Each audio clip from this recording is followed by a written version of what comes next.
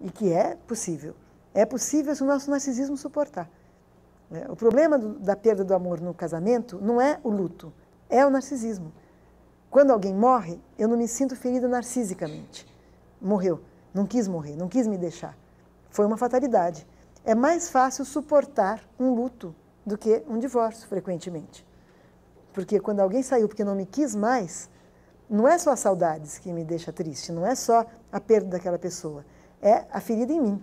Né? Então eu não valho mais. Como é que eu posso separar o meu, o meu valor, que é o meu valor pessoal, de se o outro me ama ou não? Se eu jogo todas as fichas do meu valor no amor, eu me aniquilo com a perda do amor.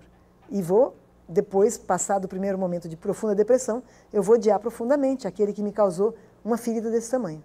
É, a identificação para a psicanálise é um pouco o resto de uma saudade. Eu não tenho mais esse amor, esse homem, essa mulher para mim, mas tenho pedaços dele